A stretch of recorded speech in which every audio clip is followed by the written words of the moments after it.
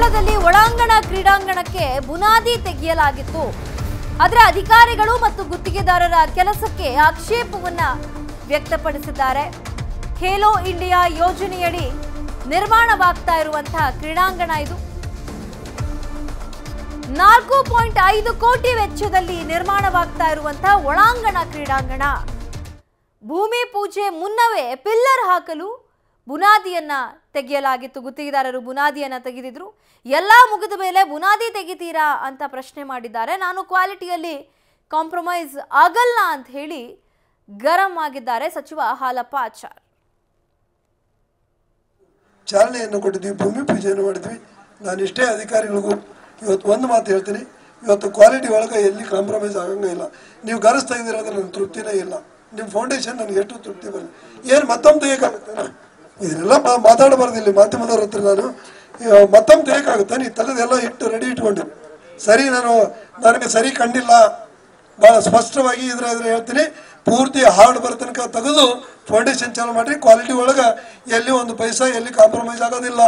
ಆ ರೀತಿ ನಿಮ್ಮ ಕೆಲಸ ಇವತ್ತು ನೀವು ಮಾಡಿಕೊಡ್ತೀರಿ ಅನ್ನೋ ನಿರೀಕ್ಷೆ ಐತೆ. ಕೊಪ್ಪಳದಲ್ಲಿ ಒಳಾಂಗಣ ಕ್ರೀಡಾಂಗಣಕ್ಕೆ ಬುನಾದಿ ತೆಗೆಯಲಾಗಿತ್ತು. ಅದರ ಅಧಿಕಾರಿಗಳು ಮತ್ತು ಗುತ್ತಿಗೆದಾರರ ಕೆಲಸಕ್ಕೆ ಆಕ್ಷೇಪವನ್ನ ವ್ಯಕ್ತಪಡಿಸಿದ್ದಾರೆ. ಖೇಲೋ ಇಂಡಿಯಾ ಯೋಜನೆಯಡಿ ನಿರ್ಮಾಣವಾಗ್ತಾ ಇರುವಂತಹ ಕ್ರೀಡಾಂಗಣ ಇದು. ನಾಲ್ಕು ಪಾಯಿಂಟ್ ಐದು ಕೋಟಿ ವೆಚ್ಚದಲ್ಲಿ ನಿರ್ಮಾಣವಾಗ್ತಾ ಇರುವಂತಹ ಒಳಾಂಗಣ ಕ್ರೀಡಾಂಗಣ.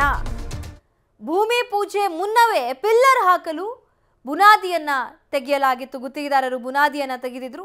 ಎಲ್ಲ ಮುಗಿದ ಮೇಲೆ ಬುನಾದಿ ತೆಗಿತೀರಾ ಅಂತ ಪ್ರಶ್ನೆ ಮಾಡಿದ್ದಾರೆ. ನಾನು ಕ್ವಾಲಿಟಿಯಲ್ಲಿ ಕಾಂಪ್ರಮೈಸ್ ಆಗಲ್ಲ ಅಂತ ಹೇಳಿ ಗರಂ ಆಗಿದ್ದಾರೆ ಸಚಿವ ಹಾಲಪ್ಪ ಆಚಾರ್.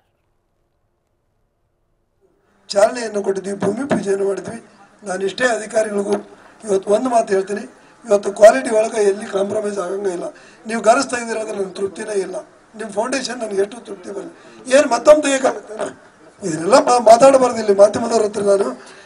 ಮತ್ತೊಮ್ಮೆ ತೆಗೆಯೋಕ್ಕಾಗುತ್ತೆ ನೀ ತಲೆದೆಲ್ಲ ಇಟ್ಟು ರೆಡಿ ಇಟ್ಕೊಂಡು. ಸರಿ, ನಾನು ನನಗೆ ಸರಿ ಕಂಡಿಲ್ಲ. ಭಾಳ ಸ್ಪಷ್ಟವಾಗಿ ಇದ್ರ ಹೇಳ್ತೀನಿ. ಪೂರ್ತಿ ಹಾರ್ಡ್ ಬರೋ ತನಕ ತೆಗೆದು ಫೌಂಡೇಶನ್ ಚಾಲು ಮಾಡಿ ಕ್ವಾಲಿಟಿ ಒಳಗೆ ಎಲ್ಲಿ ಒಂದು ಪೈಸಾ, ಎಲ್ಲಿ ಕಾಂಪ್ರಮೈಸ್ ಆಗೋದಿಲ್ಲ. ಆ ರೀತಿ ನಿಮ್ಮ ಕೆಲಸ, ಇವತ್ತು ನೀವು ಮಾಡಿಕೊಡ್ತೀರಿ ಅನ್ನೋ ನಿರೀಕ್ಷೆ.